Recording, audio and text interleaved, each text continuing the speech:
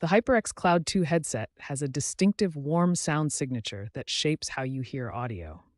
Understanding this natural profile is the first step to optimizing your listening experience. The Cloud 2 features elevated bass response in the 40 to 200 Hz range, creating that warm sound. The mids are recessed around 1 to 3 kHz, while treble peaks moderately around 8 to 10 kHz. To optimize this sound profile, you'll need EQ software.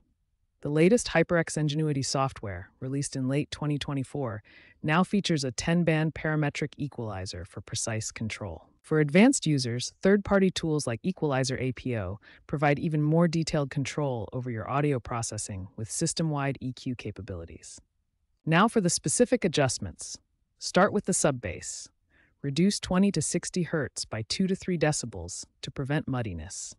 Then reduce the bass range of 60 to 200 Hz by 1 to 2 decibels for cleaner low end response.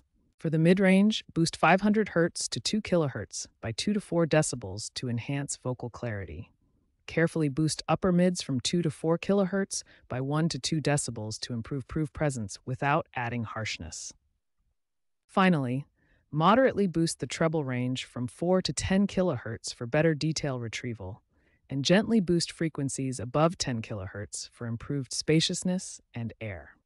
Remember that the Cloud 2's 7.1 virtual surround sound is processed through its USB sound card. This processing can be further optimized through firmware updates expected in 2025, giving you even more control over your audio experience. For competitive gaming, Professional players use specific EQ adjustments to enhance crucial audio cues. The gaming profile reduces bass frequencies to eliminate muddiness while boosting mid frequencies for better footstep clarity. These adjustments provide enhanced footstep clarity, reduced bass muddiness, and better directional audio positioning. Professional CS2 players disable virtual surround for competitive accuracy. For music listening, we need a different approach.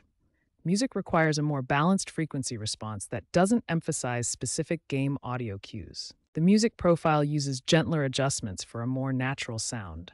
We slightly reduce bass to prevent muddiness and boost mids for vocal clarity, while maintaining the headphone's natural warmth.